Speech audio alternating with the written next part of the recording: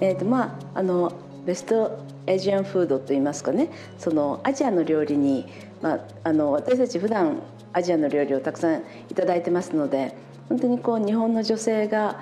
まあ、あの日本でいただく、えー、アジアの、まあ、お料理特にあの寿司など、えー、お魚を使ったものに関しましてはこう白の中でも、えー、キレのいいそれでいて、まあ、複雑さ厚みのあるワインそして、えー、フルーツ果実味の豊かなワインが、えー、選ばれるとというふうになっておりますね。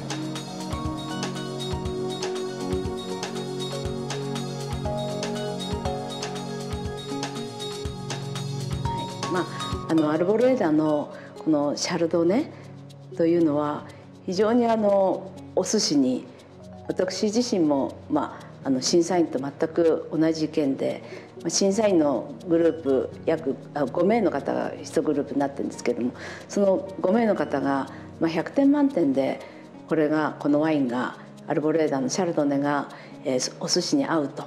という評価を与えてくれたんですね。でまあ、あのそのお寿司に合う、まあえー、理由としてなんですけれどもやはり一つはこの、えー、シャルドネが持ってる、えー、エレガントさそれから、えー、その骨格の良さということがまず大事です。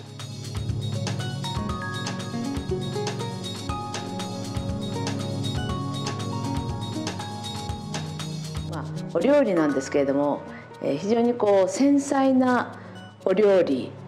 から、えー、ある程度こうコクのあるお魚料理まあ、例えば天ぷらのようなものにも実はあのこのアルボレーダなんですけどシャルドネですけれども、まあ、お寿司ではグランプリだったんですけれども、えー、天ぷらに合うワインでも、えー、ノミネートされてるんですね。とこのように、えー、日本食それから特にお魚を使ったお料理との相性というのはもうそれだけでも、えー、十分評価されているとそう考えていただいてよろしいかなと思います。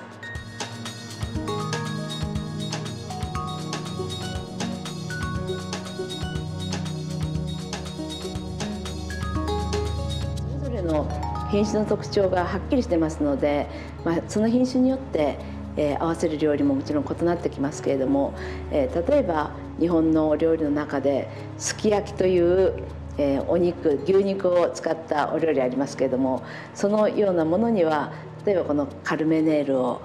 合わせていただいたりそれからシラ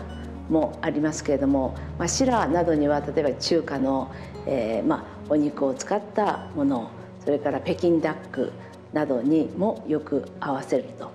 よく合うというふうに、えー、認識しております。